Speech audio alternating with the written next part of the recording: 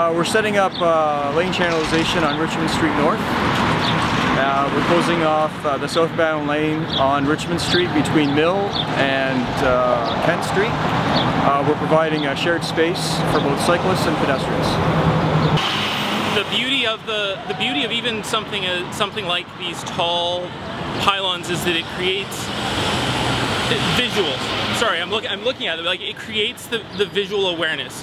Um, you know, lots of studies have shown that uh, people drive more slowly when there is, um, you know, narrower lanes or when there are physical physical things kind of showcasing where people can drive. Oh, I think this is excellent. I, I wish they had, a, had uh, done this years ago, even before COVID.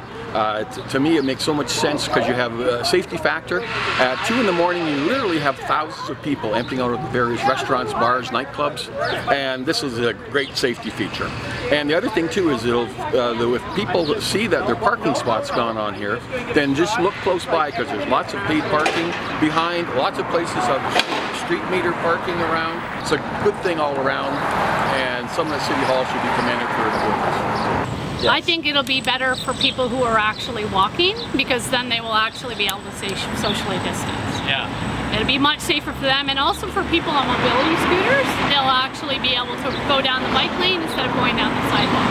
So okay. many people benefit, not just bikes. Uh, you know, all of these businesses along here that are relatively starved for uh, pedestrian space now have this huge extra amount of space. They can put up patio chairs, they can open up sidewalk um, they can open up sidewalk sales tables uh, without fearing that they're then going to endanger pedestrians who are going to be getting too close.